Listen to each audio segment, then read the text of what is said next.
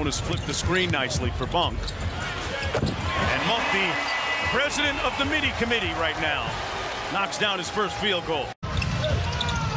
Good defense by the Kings inside. They got the verticality and the subsequent stop. Monk on the fly, raises up and scores it. Monk with eight on the shot clock, working against Gordon. Good hit on the screen by Sabonis to free up Monk. Joker is going to stay back in that deep drop. And that way, if you set a good screen, you're going to have an open jumper right there. Malik keeps looking for it. Nice block inside. Monk with the steal and the launch. Butter. Malik. Sounds like a guard has stolen a tip from you once in a while. No, uh-uh. Okay. No, no, no, no. no. You wouldn't let him get away with it? I've just seen it up basketball. Oh, Malik!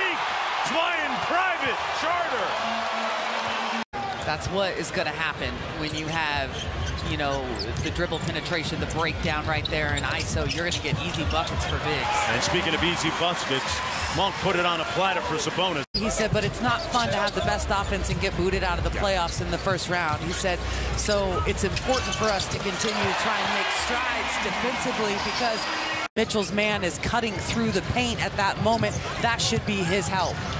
Monk elevates gets it to fall. Trying to repeat his champs. Yeah, second second year with the Nuggets, obviously, for a young guy fits right into their system. Malik Monk. What I'm trying to tell you. Fox, couple jab steps. Man, that step was faster than gossip. De'Aaron Fox, lightning. Peter is still running. Here's Monk. Wow, the audacity of Malik. Monk